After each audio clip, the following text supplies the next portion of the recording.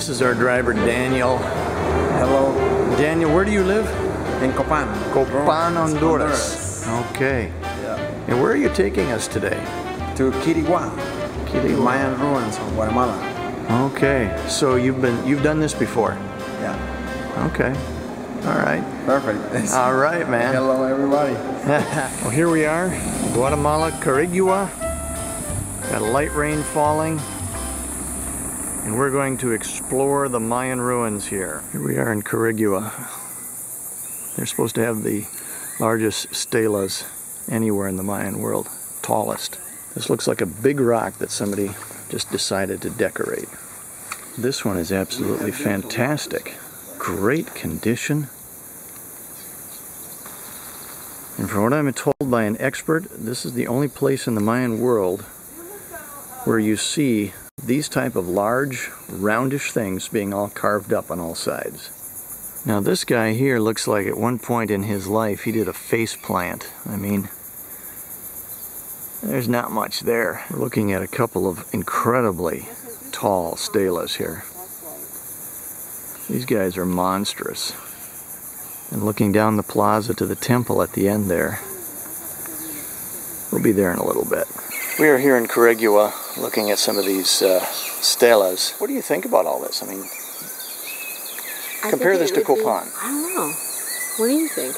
I think, well, one, the stelas are taller, and the That's artwork true. seems different. Yeah. And we're going to look at one over there where it looks like they just take the artwork on the front and wrap it around to the sides. But it, it's different and it's very quiet here. Yeah, it's very nice. Very nice and So quiet. we're enjoying it. Wish you were here.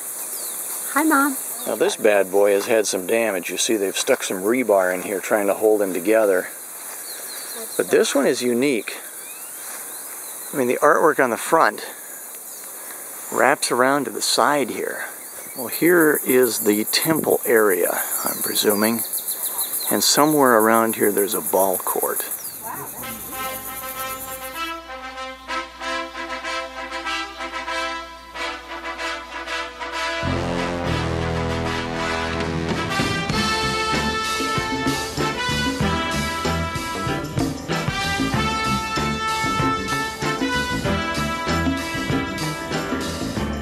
We've been looking all over this site for the ball court, and uh, we finally found it. It's right here. You can kind of see a ridge. That's one side of it. Another ridge, that's the other side of it. It's about a meter underground, so we're told. This is what that whole plaza area would look like if it was excavated with a temple here, ball court here, and then these would be the stands for watching the game. But they still have more work to do on this site. Here is a find. This ancient artifact was probably used for people to do just this to sit and enjoy the day, looking at the stela. Probably what uh, this was all about.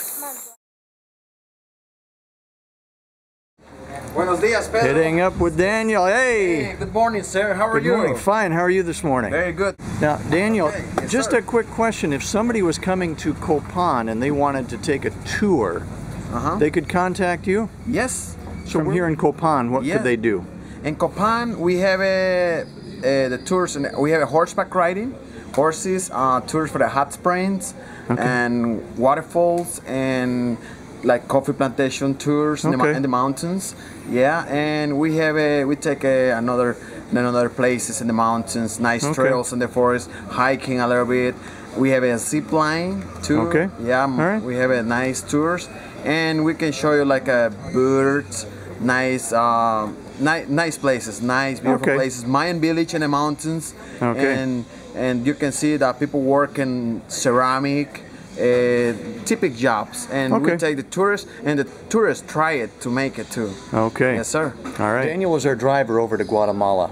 And I will tell you this he is a safe driver, he is a good driver, and we had a great time. So call this number if you want to contact Daniel when you are here in Copan.